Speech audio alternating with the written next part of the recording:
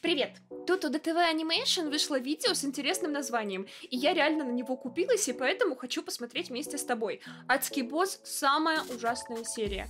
Как я предполагаю, он будет говорить про самую последнюю, но я не считаю ее самой ужасной. Мне кажется, были серии похуже. Для меня лично это те серии, где ну, пошлятины и похабщины слишком много. Вот настолько много, что ты уже думаешь, ну типа, хватит, остановитесь, зачем вы это пихаете?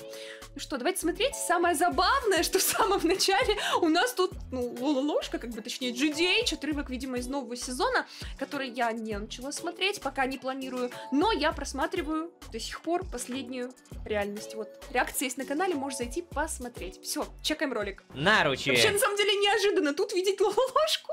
Расчехляй наручи. Да блин, опять не то видео. Так вот. А. ну что, мои любители демони... Подождите, а у него же видео про разные там фандомы, мульты, сериалы. Может, он про Лололошку сделает что-то? Нет и адской анимации. Соскучились? Я да. Ибо сегодня мы с вами будем лицезреть самую ужасную серию адского босса. Настолько Хм. ужасной. ну вы поняли. Ужасную, потому что она вышла на Хэллоуин. Пугалки там всякие. А, все понятно! Закликбейтил! А я ведь повелась, и ты, может быть, Ну, а тоже. вы что подумали? Что я буду ругать эпизод, который в кои-то веке раскрывает нам Милли, чего мы Да. ждали, кажется, э, с первого сезона. Показывает что-то такая новое, была. а не бесконечную Санта-Барбару. Блин, просто лайк! Просто со скином в виде демонов и с отношашками всяких демоноидов. Согласитесь, что новый эпизод, ну правда ощущается как что-то получше, чем последние несколько серий. Приятно видеть, что адский босс может не падать в грязь лицом. И правда радовать. Иногда даже пугать. И без пошлости всюду. И везде Да. интриговать прошлым персонажей. Лол, Ну, сколько... как бы, если что, я не ханжа, и я не против пошлостей.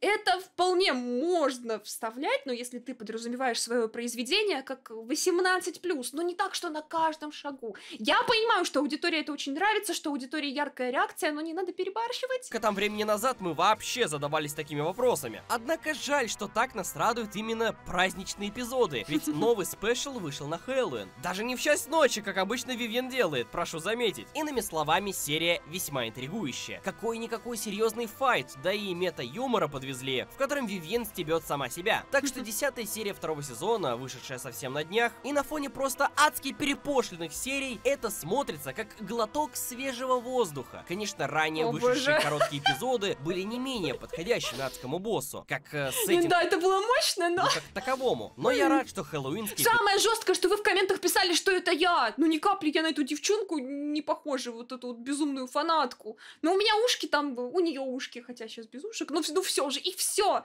На этом выделился банально тем, что Блиц перестал вести себя как сопля и тратить наше время на плаки-плаки по королевской демонической сове. Ах да, ну и Луна, ну она фактически как всегда бесполезна, кроме как продавать мерч и быть главным персонажем для Типичный фанатов. Как подросток. хорошо, что есть вещи, что не меняются в нашем бурном и неспокойном мире. Какая идиллия. В общем, садитесь, печенек набирайте. Сегодня эпизод адского босса со ссылками на Скуби-Ду, который Да. лучше, чем последний официальный сериал по Скуби-Ду, какой-то психовный Фредди Крюгер, налоговый ужас и прочие пугалки на Хэллоуин. И Кстати, до меня только сейчас дошло, то что здесь, в этой серии, рассмотрели концепцию ужаса абсолютно со стороны разных людей. То есть ужас взрослого человека, налоги.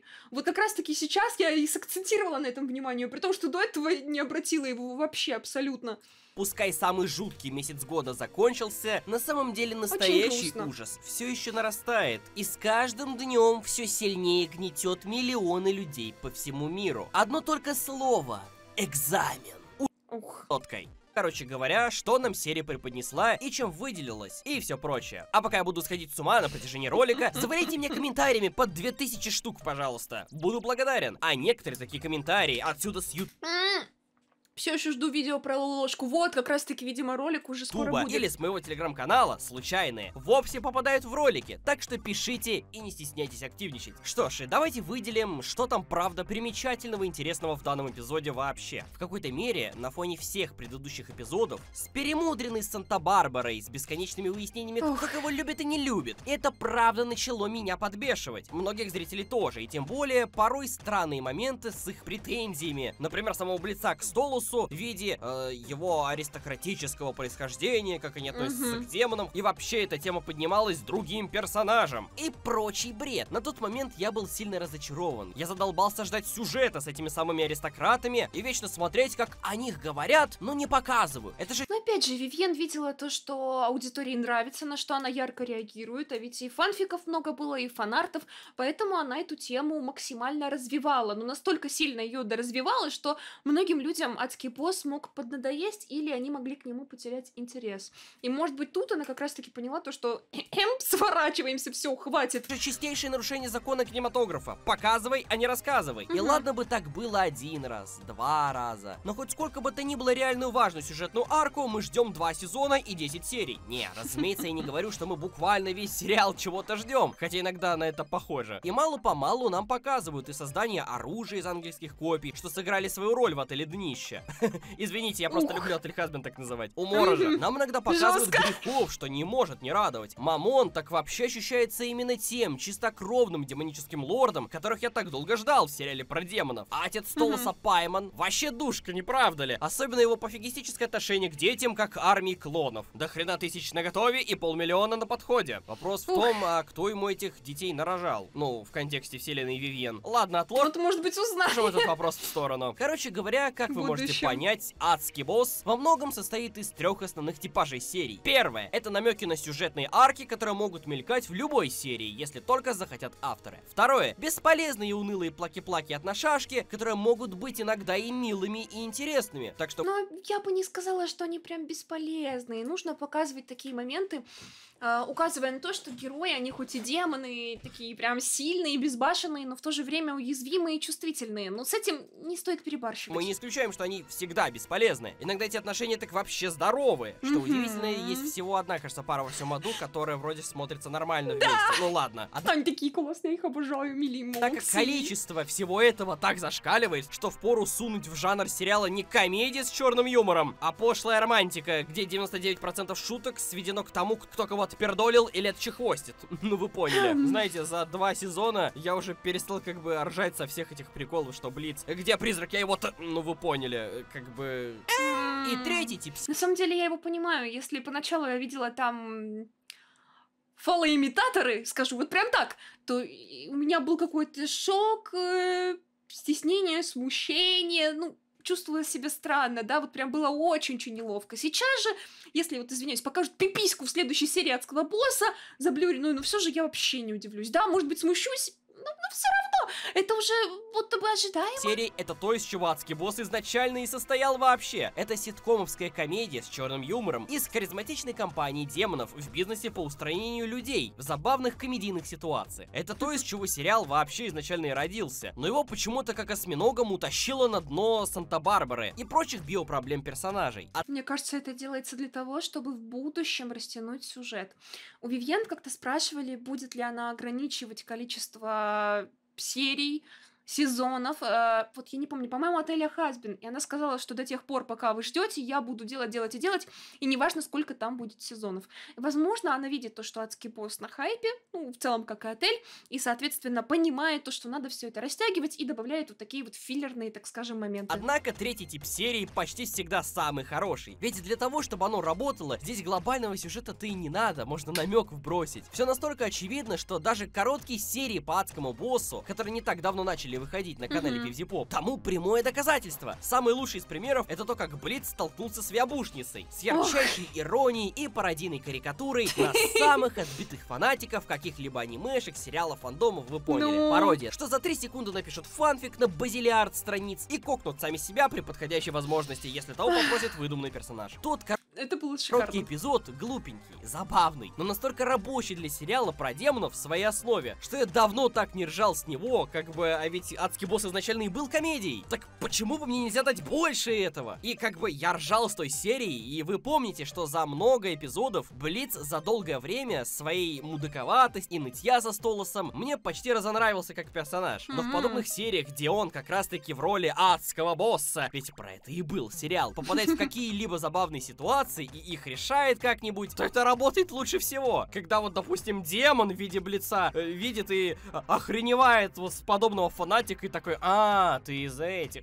Да, типа, знаете, когда в аду демон более разумный, благоразумный, нежели человек сверху, там, так скажем, на земле.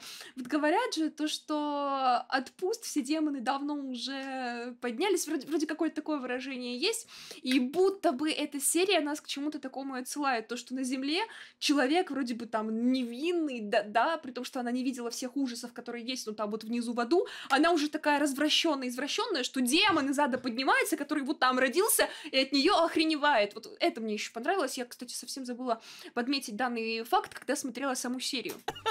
И десятая серия второго сезона фактически почти то же самое. В самом начале серии одновременно продолжает сюжетную линию драмы, но выворачивает это так, что персонажи, как и мы, устали от этого нытья. Все устали от нытья Блица. И так сказать, все слова персонажей по поводу этого синергируют со мнением огромного количества зрителей. И может быть к зрителям как-то прислушались, Вивьен и команда увидели много таких комментариев. После вся эта серия будет посвящена как раз таки именно обычному классическому заданию нашей компании AMP. Какую-то даму грохнули в неком отеле, отрубив голову. Отчего в аду у нее голова парит над телом. Обожаю эту деталь с дизайнами адского босса или, или отеля Хазбин, поэтому можно заранее предполагать по дизайну, как грешник попал в ад в этом сериале. Люблю подобные дизайнерские решения. Ну а герои должны заняться всем этим, и Блиц в частности, чтобы перестать тратить бюджет, ведь они почти остались без денег, он поназаказывал фигурок сов, чтобы их сжигать. Боже. Луну еще такой прям изнуренный показали моменте. Потому взбодрить Блица взялась Милли, пока Луна остается картонкой в виде персонажа, которая якобы что-то делает. Ну а Мокси...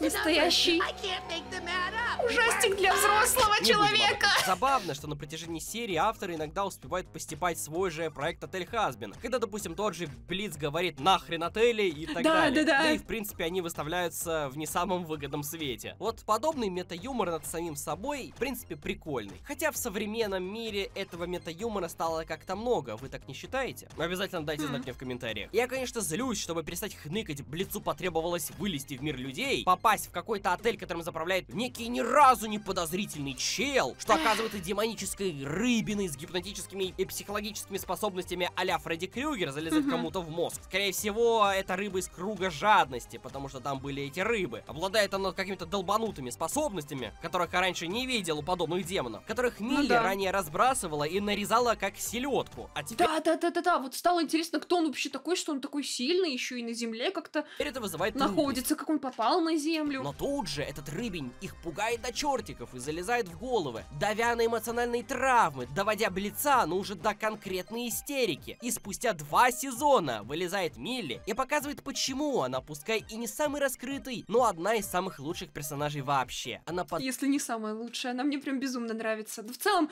Милли и Мокси вдвоем такая пара гармоничная. подбадривает Блица, напоминает им об их изначальной встрече, как они в неком техасском баре устраивали драку в стиле мачете. Милли тогда вообще сама на себя не была похожа. Да, То есть такая брутальная Он, прям. наша компашка повлияла на нее, что нельзя не заметить. В принципе, это долгожданное хоть какое-то раскрытие Мили. Мы этого ждали долго. И боже, как же я рад, когда я не в обзорах, и не вы в комментах, и не другие люди в обзорах, а кто-то из персонажей, а именно Милли, высказала этому долбанутому рогатому индивиду все, что накопилось. Так как его шизанутость на фоне того, как он плачет, или так как он прячет свои плаки за шизанутостью, задолбала всех. И тем более его либо безумный трэш, построенный лишь на пошлости, либо вечные нюни. Как же я за Милли был рад в этот момент. И Я очень надеюсь, то, что эта серия будет знаковой и действительно ход э, сериала поменяется, и все вернется в прежнее, так скажем, русло еще до вот всех вот этих драм, трагедий и чрезмерного количества Фактически пошлостей. где-то спустя месяц прошлой серии, а может чуть дольше. Это забавно, ведь в серии персонажи сами говорят, что Блиц уже как месяц продолжает ныть. Так Мгм. сказать, как будто бы сериал идет нога в ногу с нашим реальным временем. То есть вот у нас прошел день, у них один день. Да. И в какой-то веке Блиц перестал вести себя как размаздя. И на оставшийся эпизод стал смотреть не просто приятно, а шикарно. Тут вам и драка, и юмор, и шутки от отсылающий к страху персонажей, в очередной раз показывая, что если не Милли, что рвет свою пятую точку во время экшена, то все бы померли. А если бы она померла как множество раз, там от ангельских стрел, там еще где-то, во всех тех экшен-моментах, где она участвовала. А этот рыб... Мне еще больше всего понравилось, как их дружбу показали, их связь друг с другом, и прошлое, и в целом, как Милли к нему относится к Блицу, при том, что он ведет себя, ну, прям так надоедающе, и только настоящий друг сможет все это претерпеть, выждать момент, так скажем, и, и все это время, на протяжении всего этого времени поддерживать своего друга. Потому что не настоящий друг, а человек, который пытается казаться другом, он в этот момент просто уйдет куда-то во свояси и будет заниматься своими делами. А Милли действительно искренне пыталась ему помочь все это время. Рыбень, чего только стоит. Мне в отдельности нравится его голос. Жаль, что персонаж фоновый и не раскрыт, там как бы он вроде бы и своего имени ни разу не называет. Но вау, как он еще играется на эмоциях Блица. Может, в будущем его еще добавят? даже на его Хотя... потерю матери, которая сжигается в зеленом огне. Вот это... Стоп, а того чела убили в конце серии или нет? Я уже не помню, я столько много всего смотрю, что, вот честно скажу, у меня порой все смешивается в голове. Это вот неплохо. Ну вот с мамой это такой момент был. Прям... Ну вау, как он еще играется на эмоциях Блица в виде иллюзий, что давили даже на его потерю матери, да. которая сжигается в зеленом огне. Вот это вот неплохо. Кстати... Впервые же так жестко ее показали, потому что до этого были какие-то небольшие элементы, там на фотке она где-то засвечивалась вроде бы. Те мать Блица показали наконец-то в какой-то веке да! вот на экране. Антагонист антагониста под конец серии жестко побеждают, кинув пылесос в бассейн. Так Во, что отрезая нам всё. его потенциальное возвращение. Да, спасибо, что напомнил. Я реально забыла. Даже глаза расплавились. Обидно, правда, что один из интереснейших злодеев с своими способностями слился без возврата. Но будет... Но вдруг каким-то образом он выжил и еще вернется, чтобы отомстить. Им радоваться тому, что уже есть. А что же до юмора и прочих приколюх, то серия переполнена ссылками ко всякому жуткому. В конце концов, на Хэллоуин эпизод и делался. Тут и старый отель с привидениями, и сама серия просвещена привидениями. Там происходят фатальные ситуации, людей режут. Они попадают в ад и нанимают нашу компанию AMP. Погоня в стиле Скуби-Ду да. от постояльцев отеля, которая началась с нифига. Кстати, это погоня в стиле Скуби-Ду как пощечина, ведь последний сериал по Скуби-Ду, Велма, это такое тотальное дно, загляните на любой из моих обзоров. Благо в... Ой, я, на самом деле, слава богу, не смотрела, ну, просто решила не портить себе впечатление, потому что я обожала Скуби-Ду безумно сильно. В конце последней серии Велма попала в ад. Может, потому в адском боссе теперь отсылки на это. Вот какой-то так... Может быть, вполне. Какой вышла эта серия. Она не великолепная, не шедевральная, там нет гениального сюжета или э, замутки эмоциональной с персонажами, аристократами, э, войной демонов и прочего. Они же даже, кстати, в самом начале на мини-фургончике, ну, на машинке такой заехали. Она просто хорошая. И знаете, я радуюсь, когда сериал возвращается к корням и пытается нам дать что-то, кроме шиперской драмы, которой было в последнее время слишком много много. Mm-hmm. Понятное дело, что сериал без этого уже не обойдется. Фанатов Столоса, Блица, Смодея и прочих очень много. И это правильно, что фанатов радуют контентом для них. Но все-таки изначально адский босс начался как нечто другое и привлек других фанатов, вот как mm-hmm. меня. И на таких фанатов вообще болт иногда забивают. Так что это уже не... На самом деле мне интересно смотреть и то, и другое, но все должно быть в меру. Главный сюжет, он должен продвигаться, и герои должны раскрываться вне зависимости от их романтических отношений. Адский босса, какая-то адская сваха. ну серьезно. Я думаю, с какой-то части частью моих слов вы точно согласитесь. Ну, а мы с вами продолжим следить и ждать либо таких же серий, либо назревающую арку конфликта с аристократами, спойлеры по которой уже начали сливать в интернет. Да, там уже аниматики летают, всякие спойлеры, так что остерегайтесь. Не, ну... подождите, я знаю и смотрела даже видео на эту тему, что там э, слив э, с отеля Хасбин, ну, с адского босса тоже слив какой-то был.